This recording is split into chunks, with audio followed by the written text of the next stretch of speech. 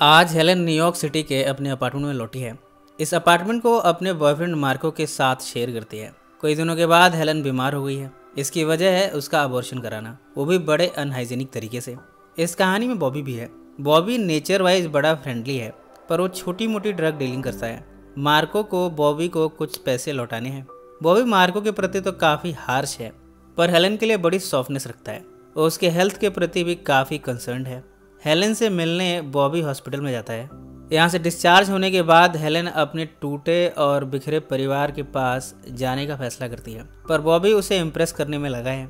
Helen भी बॉबी की बातों से इम्प्रेस होने लगी है। पहले तो वह अपनी फैमिली के पास लौटना चाहती थी, पर बाद में बॉबी के घर में मूव इन कर गई है। पर वो बॉबी को ड्रग्स लेते हुए देखती है। वो उससे इस बारे में पूछती है। बॉबी कहता है, मैं कोई एडिक्ट नहीं हूँ, बस थोड़ा थोड़ा इस्तेमाल करता हूँ। अब धीरे धीरे दोनों में केमिस्ट्री डेवलप होने लगी है। पहले तो बॉबी हेलन को अपने साथी चीको से मिलाता है। जब हेलन और बॉबी साथ में रेस्टोरेंट में जाते हैं, तब बॉबी यहाँ अपने आप को बड़ा चढ़ाकर बताता है। वो कहता है, मैं जब 10 साल का था, तभी से हैंडसम हूँ। अब हेलन भी धीरे धीरे मार्को को भुलाकर बॉबी से इम्प्रेस होने लगी है। तभी यहाँ सैमी आ जाता है। सैमी भी बॉबी के साथियों में से एक है। इस तरह बॉबी अपने कई साथियों से हेलन को मिलाता है। यहाँ इस रेस्टोरेंट में बॉबी का भाई हैंक भी आता है।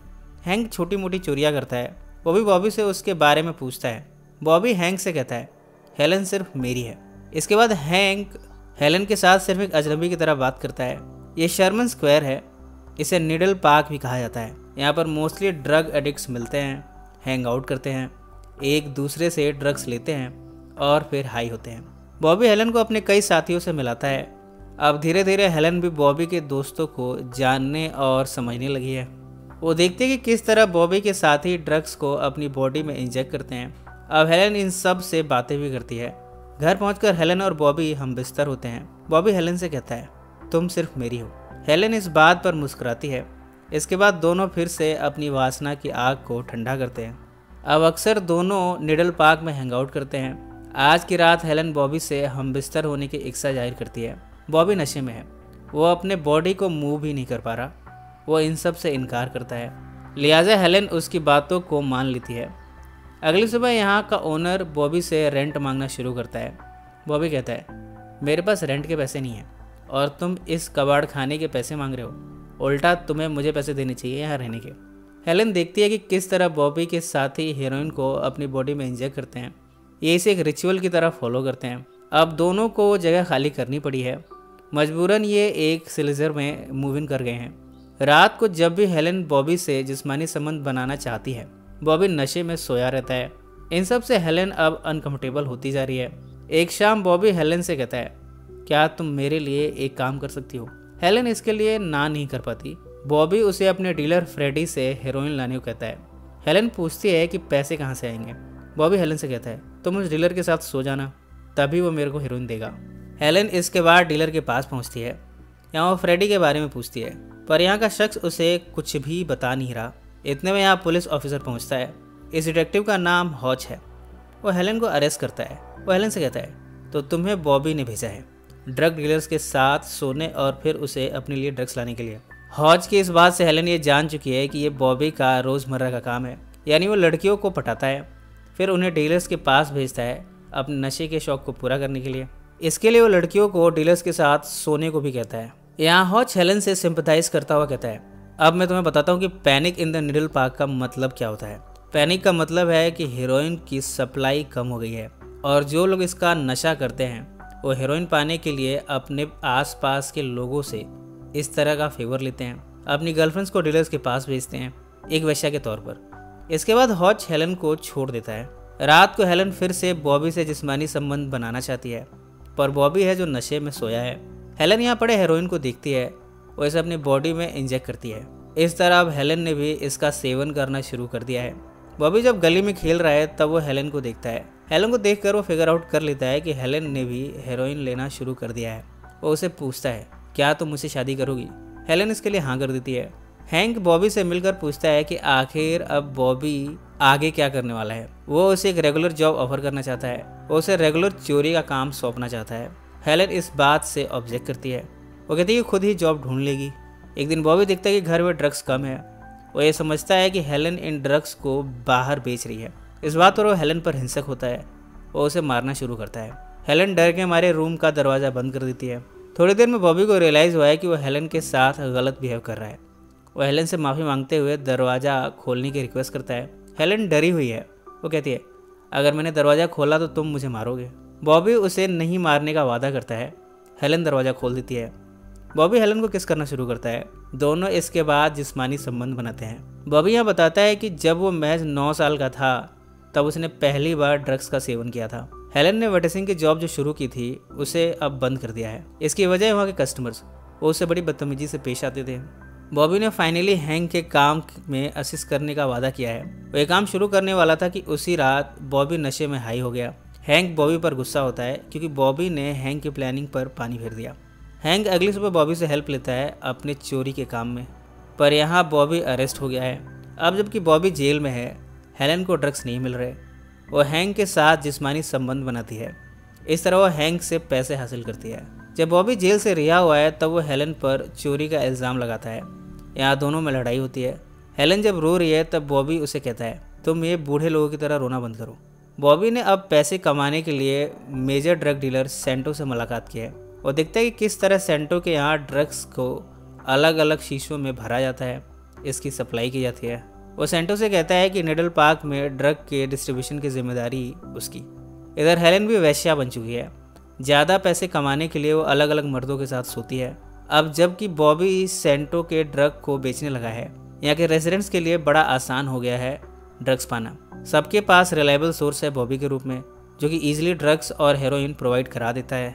हेलन ने भी ड्रग्स और हेरोइन का सेवन बड़ी मात्रा में करना शुरू कर दिया है। अब धीरे धीरे उसकी हेल्थ भी खराब होती जा रही है। बॉबी और उसकी रिलेशनशिप भी सफ़र कर रही है। इन सब में डिटेक्टिव हॉच हेलन पर नज़र रखता है। वो हेलन को पसंद करता है, इसलिए वो हेलन को फॉलो करता रहता है। एक शाम हेलन और उसका एक कस्टमर पुलिस के द्वारा अरेस्ट कर लिए जाते हैं। हॉज अपने साथी ऑफिसर से कहता है, तुम हेलन को बुक मत करो। उसे छोड़ दो। मैंने उसे किसी बड़े प्लानिंग के लिए रखा है। हौज का साथी ऑफिसर उसकी बात मान जाता है। कुछ दिनों के बाद हेलन को उसकी माँ का खत आया है। वो लिखती है कि हेलन को देखने वो आने वाली है। साथ में कुछ फैमिली फ्रेंड्स भी हेलन के शहर आ रहे हैं। अब हेलन अपनी माँ से मिलने को तैयार हो रही है। वो अपने चेहरे के निशान को मिटा रही है। उसे बॉबी के मारने से जो चोटें लगी हैं, उन्हें भी मिटा रही है। अपने कलाइयों के नसों को ढक रही है, जहाँ इंजेक्शन के निशान हैं। बॉबी भी हेलन को सजने धजने में मदद करता है। इसके बाद जब हेलन मिलने पहुँची है, तब यहाँ वो बजाय अपनी मदर और फैमिली फ्रेंड से मिलने के, वो एक कस्टमर को पिक करती है। उसके साथ वो हम बिस्तर होती है। इतने में बॉबी यहाँ आ जाता है। वो शख्स के सारे पैसे लूट लेता है और उसे यहाँ से भगा देता है। इसे देखकर साफ़ लग रहा है कि ये सब हेलन और बॉबी की प्लानिंग थी।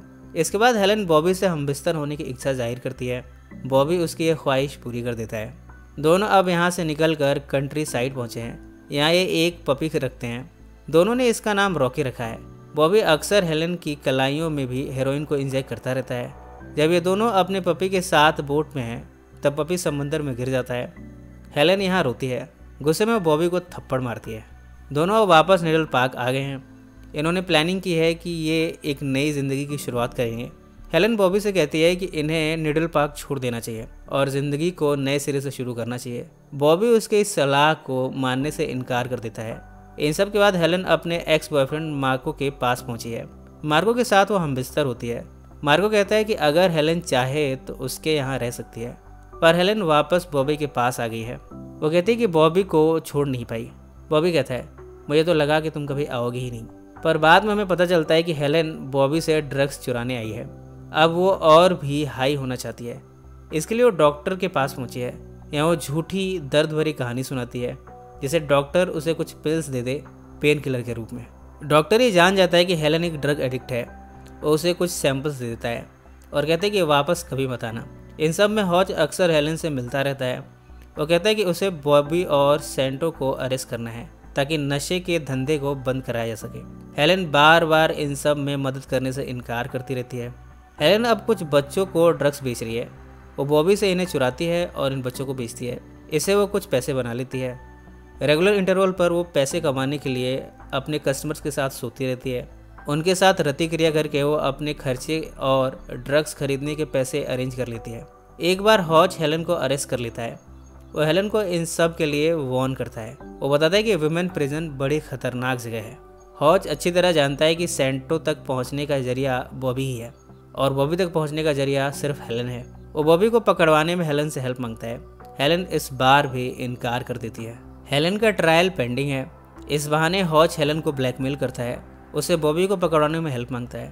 डिप्रेशन में आकर हेलन और भी ड्रग्स लेना शुरू करती है, पर अब वो भी इस लाइफ से थक चुकी है। बॉबी को कई बार इन सबसे बाहर निकलने के लिए कह चुकी है, पर बॉबी नहीं मानता। इस तरह एक रात हेलन ने हॉच से हाथ मिला ही लिया, और इस बार बॉबी को पकड़ लिया गया है। हेलन और हॉच खड़े बॉबी को अरेस्ट होते हुए देखते हैं। बॉबी हेलन के पास जाकर कहता है, तुमने मुझे धोखा दिया। जबकि मैं तुम्हारे साथ शादी करने वाला था। इसमें बॉबी के पास से ढेर सारे हेरोइन मिले हैं। कुछ महीनों के बाद बॉबी की रिहाई हो गई है। बाहर हेलन उसका इंतज़ार कर रही है। पहली नज़र में तो बॉबी हेलन को इग्नोर मारता है और यहाँ से जा रहा है। पर हेलन उसे फॉलो करती है। कुछ लम्हों के बाद बॉबी फिर से हेलन को एक्सेप्ट करने को तैयार है। इसी नोट पर यह फ़िल्म समाप्त हो जाती है। फ़िल्म में सेंटो को अरेस्ट होते हुए नहीं दिखाया गया। पर बॉबी के अरेस्ट और रिलीज़ होने से ये इम्प्लाइड है कि सेंटो को अरेस्ट करके इस धंधे को बंद कर दिया गया और अंत में बॉबी और हेलन ने नॉर्मल लाइफ शुरू कर दी। सो फ्रेंड्स फिर मिलेंगे ज़िंदगी के किसी नए मोड पर।